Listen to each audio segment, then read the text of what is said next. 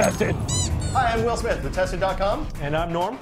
Uh, we're here today to talk to you about servers in your home. Do you have a server in your home, Norm? I do have a server in my house. What do you use your server in your home for? I use to store every single DVD rip I have, every single TV rip, and all my CDs. And like backup, perhaps? Maybe backup. Yep. Okay, so file sharing. So, so basically, you have a machine in your home. It stays on all the time. Yep.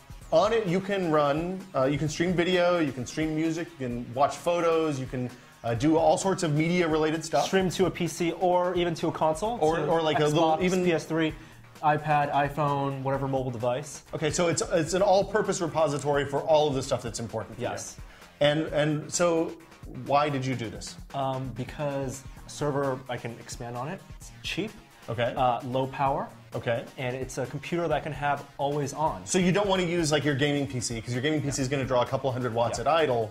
My desktop, 1,000 watt power supply, Yeah, don't a- want that of- on. too much I want a small server computer that I can have always on for you know FTP serving. I can have you know remote networking, turn on access to my main computer. That sounds great to me. So let's talk about uh, building a home server. Uh, we have all the stuff we need to do it right here, but first we're going to talk about the software we're going to use as the core of the machine. So basically, what is Windows Home Server? It's a modified version of Windows Server 2003 from Microsoft, and it's very efficient server software. So it's very stable. Yes. I mean, Windows Server 2003 is based on XP. Mhm. So it's a, it's a, but it's, I think it's a Vista kernel, but it's a good Vista kernel, not a bad Vista kernel. but it's special. It's made for servers. right. So they do a bunch of different things that are that are different from even standard Windows Home Windows Server rather. Okay. Um, so one of the things that you do when you install Windows Home Server on a machine is it automatically partitions uh, whatever drive you install into a C drive, which is where the OS and applications and those types of things are, Mm-hmm. and a D drive. And a D drive is actually every single other hard drive. It's all the shares. Everything, all the shares. Right. So whether you have one hard drive or six hard drives, Right. you're only going to have a C drive and a D drive. The C drive being where the OS software is, and that's why you, you want to have the fastest drive on Right. the C drive, the fastest hardware. And the D drive could be, But, you know, but the D drive is just mount points for every yep. other drive in the system, and they do a, kind kind of some tricky stuff with shadow copies, so that you can uh, have file duplication across all the drives. And I mean, it- it's a bunch of neat tricks. Basically, all you need to know is that once you plug uh, your these hard drives into your machine, then they all show up as part of this big kind of storage cloud. what are the gotchas? Well, you want to use the a relatively big, fast drive for C, and then your D drives can be slow. Like you can even use U- USB drives if you want to use them. Yeah, them. really. Um, the, th- the reason you do that is because any of the data that comes onto the home server uh, first comes onto that C drive and then gets partitioned out and doled out to all the other drives. Mm-hmm. So it's really important that that C drive be fast and be big because when it fills up, the home server gets really slow. And it's really a bare bones Windows OS, but it does have some server functionality. So what it does is it can back up up to 10 machines on your home network. They must be wired and they must be Windows They don't have to be wired. Oh, they can be wired or wireless. Right. It's better if they're wired. Faster if they're wired, Yep, more but stable. really basically all you need to do is make sure the first backup is done wired and then all the rest of them are incremental so it's a lot smaller and doesn't take much time. And uh, it has a built-in file server, so you have network shares, you Yes. have public folders and user accounts. You can you know, Special folders for types of content Yep. like music and video and photos. And you can also manage redundancy for those folders. So if you have a folder just, just for video, you can Exactly. in, um, in your drives have that backed up. So that if- twice the amount of space, but it will be a real backup. But if a hard drive fails, then you then that data is not lost. Now it's important. Redundancy is not the same as backup. With redundancy, you're covered in case of drive failure. But should you accidentally delete a bunch of files or a virus comes through and wipes out your photo directory, uh, redundancy doesn't really help you there because those changes propagate immediately across the drive. So don't think that flipping that redundant switch in a home server means that you don't have to back up this data too. It's really important to keep backing up that data. And also, there's uh, dynamic DNS, so you can access the home server. Oh, cool. Uh, if you buy Windows Home Server license, you get a uh, domain, you get access to the domain homeserver.com. So, for instance, I can have you know Norman at .homeserver.com and access all my files offsite. So even if you're on, say, Comcast and you get dynamic IP addresses, it will automatically update, and you can you can access your files on the home server and the other files inside the other computers inside your network from anywhere, pretty much. and then those files that are, are, are actually on the server, we can access them with a UNP NP server. okay, so you can stream to Xboxes and Yes. limited streaming to PS3s and some other platforms. So Windows Media Player software, basically. But it doesn't Media work that Center, But the codec support isn't that great. Right. And that's why the best part about Windows Home Server is that because it's just Windows, you can install applications and plugins. So you can um, remote desktop into You can remote desktop. You can have services that actually uh, are better server software. So, so you're not limited to just what they ship, like you might be with a NAS box or something like that. You can actually use you know whatever you want. Let's talk about the hardware first here a little bit. We tested a couple of different configurations. Uh, we wanted to have something sub $600 because we were looking at the price of competitor home server. So you devices. could buy a home server that runs Windows Home Server, you know, a physical unit without having to build one. The HP sells one for about 650 bucks. It's actually That's really nice, really piece of nice hardware, one.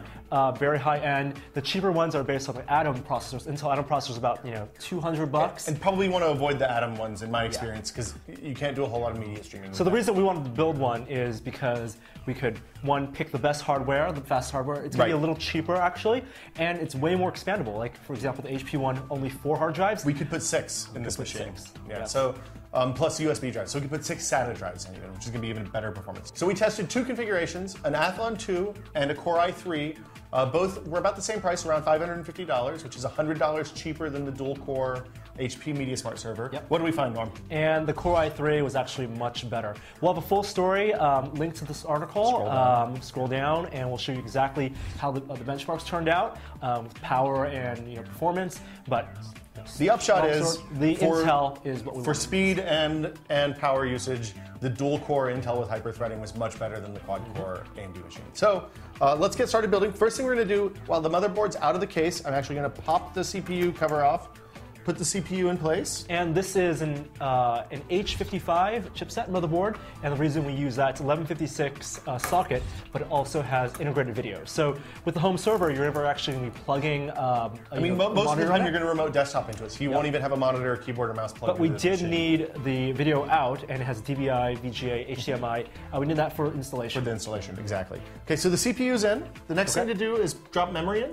I guess you should you could hand me these, but So we chose four gigabytes of Crucial RAM, about 112 bucks for four gigs. it's kind of overkill. It is think? overkill. Um, the most home servers you buy right now are two gigs. Four gigs is going to be useful if you're going to run apps. If you're going to have a lot of services um, running on the server, if you have a lot of plugins, uh, it's going to be really useful and you know optimal Mm-hmm. If you, performance. if you want to run a real web server or anything like that, then it's good to have more memory. Yep. And and uh, it's important to note if you want to have more questions about how we're actually doing this, you should refer back to our how to build a PC video from a few months ago.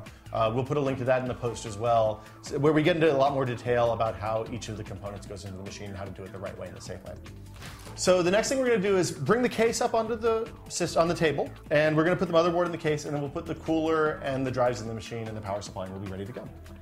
For the case, we picked a uh, Cooler Master Elite 310. It's an eight, full AT or mid tower case, but it fits ATX cases. Our motherboard is um, mini ATX, not a full motherboard.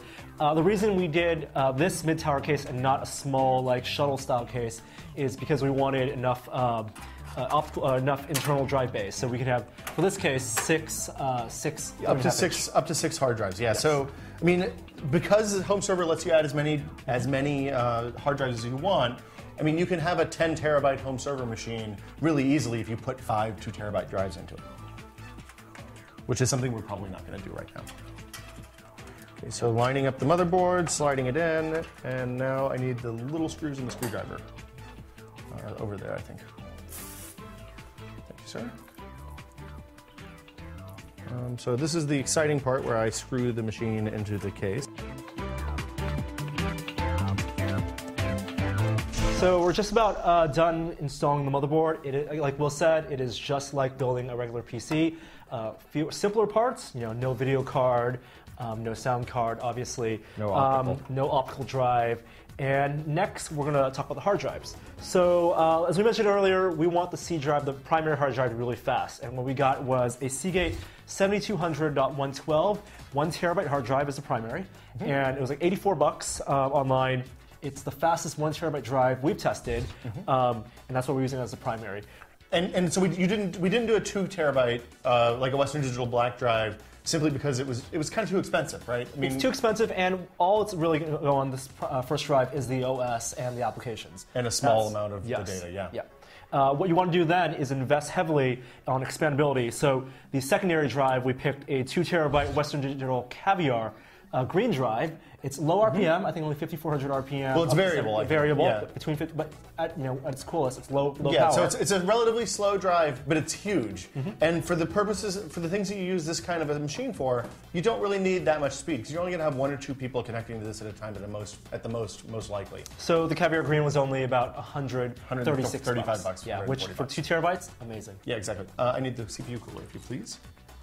Um, so the next thing I'm doing, I've got the motherboard plugged in. It's all connected. I'm getting the cooler ready to go. And Stock cooler, just fine. yeah, we, Um, we, we use a retail CPU because it actually comes with the cooler. It's not an awesome cooler, but it more than gets the job done for this kind of machine. We just want something that's kind of cool, keep the machine cool and is relatively quiet. plug it in, plug it in. All right, that sounds like a marketing message from Glade. Okay, so that's in, snapped into place. I'm going to plug the fan in on the motherboard. I'm going to do the same thing for the back case fan here. And you can see even on the board, they're labeled CPU fan and sys fan. And again, we talked about all this stuff in length on our Build a PC video, so you should definitely check that out if you have more questions. So hard drives are next. Hard drives are next. Uh, I'm going to do the Seagate drive first. I'm going to put it in the top bay. It doesn't really matter where you put it. Um, the only thing I would say is it's probably a good idea since there's no fan in this front bay here that you can't see. Um, it's probably a good idea to space them out reasonably well so they don't get too hot. I mean, you really don't need to choose this case. We like this case. There are some really cheap mid-tower cases that have uh, front-loading hot swappable drives and uh, drive bays, and those work just as well um, if you want to, you know, swap out drives. I mean, we just did this case because the price is right, and uh, I mean, it's it's a, actually quite a nice case for building an inexpensive machine. And small. It has all, all, all the bays we need. Um, next, we'll talk about the, the power supply. Uh, we went with um, a 500 watt power supply that's only $50. Uh, the most important thing about the power supply, if you're gonna, if you plan on having a ton of uh, hard drives, is having enough power, uh, SATA power. So this one, I think, has about like four, uh, four or five uh, SATA ports or SATA power uh, Leads, connectors, yeah. leads. So uh, it's, this one's Antec, $50, 500 watts, more than enough power for this type of server. well, and the thing the thing to remember, yeah, I mean, you can do four or five drives on like a 250 watt power supply because this is a low power CPU. It's uh, not a ton of RAM. It's there's no components. There's no video card or anything like that. So, I mean, it is really a super super light machine. and you can always use the Molex adapters for more SATA. Exactly. One thing you might notice that we don't have an optical drive, so how do you actually get software on here? Well, how do you, Norm? USB. Uh, USB is actually how we're going to get the OS on this computer. Uh, you can actually download Windows Home Server, a trial edition.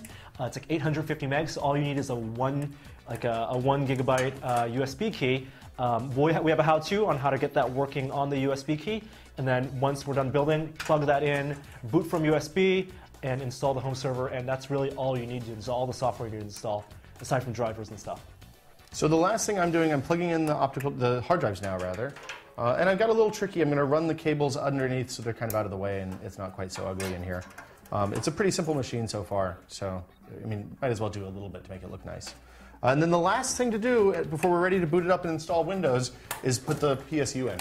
So as you can see, this PSU doesn't have a fan on the bottom. So you can put it in whichever way works best. I'm going to put it in this way, I guess. It doesn't really matter. I'm making a lot of noise with the cables right now. Uh, this way we can see the label on the side, so that's pretty exciting. Hooked on something. Okay, uh, screws, please. Okay, so, um, and of course, if you want to build your own, you don't want to do these exact components, that's fine. I mean, the nice thing about building your own computer is you can get exactly what you want and what you have budget for. Uh, so if you don't want to do, if you want to convert an old gaming machine, if you have, say, an old dual-core Athlon or something like that, it's perfect for a home server, and then all you need to do is buy a copy of Windows Home Server, and you're, you're really good to go. But we really do recommend uh, multi-core, especially if you plan on doing video transcoding. Uh, it really helps. And from experience, you want to make sure you do a machine that has, uh, let's see, XP drivers for network and graphics and all that stuff. Because a lot of times, Windows Server 2003 isn't particularly well supported by the other thing. If you can, fi- if, if what you're buying has Windows Server 2003 drivers, you're set. If it doesn't, then you should go on. Uh, so I'm going to plug in the power connectors, and we'll be ready to boot it up.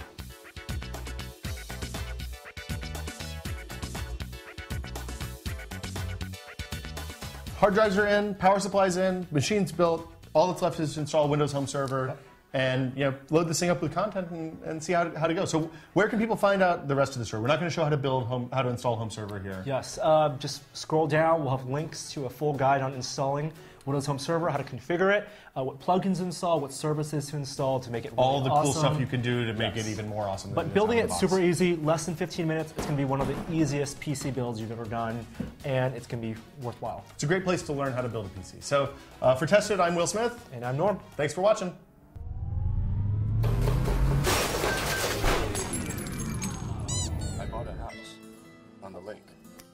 Norm, you were totally wrong. The Lake House is not a good movie. But it's so much better when we're watching it from our Windows Home server. Good home server. Stream that movie. Stream.